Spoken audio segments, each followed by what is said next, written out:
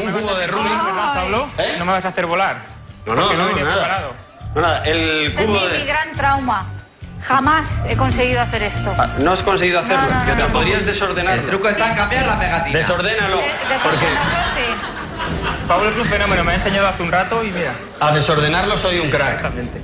Eh, podrías desordenarlo también un poco porque asegura Este mismo. David que es capaz de hacer el cubo de Rubik que estamos desordenando en 15 segundos. Venga, hombre, venga, hombre. Estamos en directo, son las 10 y 10, Es que los de Bilbao lo hacemos en 15 segundos. ¿vale? Algunas cosas. Lo voy a desordenar mucho más. A ver si te va a salir ahora. Ten cuidado. Y preparado, va, bueno, iba a hacerlo yo con mi reloj. Tenemos ahí un cronómetro, si es la tele, claro, esto. 5, 4, 3, 2, 1, ¡tiempo! Vale, ahí está. Tiene eh, una dislocación del nudillo en el meñique izquierdo. Recordemos que eso le va a causar problemas.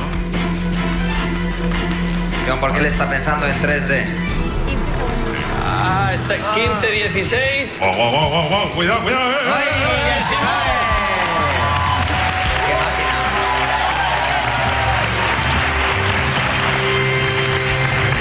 15 segundos era complicado, pero... Bueno, pero no, no, pero, pero hombre, son 4 segundos más, tendrás que pero hacer esto es muy algo. complicado de todas formas, yo creo. Hoy te he puesto la peor de todas las. difícil. no sé. Pero podrías hacer algo para, para salvarte. Te lo voy a desordenar otra vez. A ver, Y te voy a pedir, así, lo primero que se me ocurra. Deberás de hacer el cubo de Rubik solo con una mano.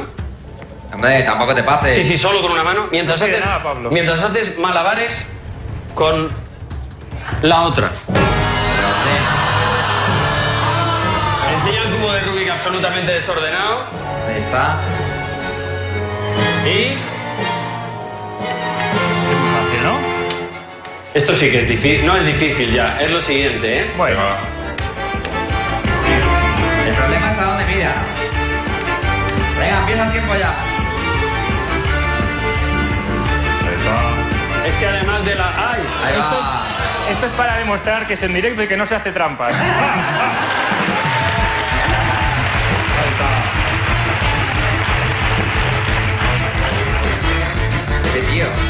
Prácticamente ni lo mira, ¿eh?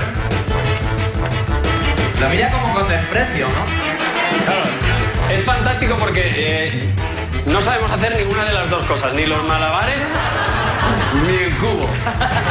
Yo juraría que este tío es un extraterrestre. Tiene dos cerebros.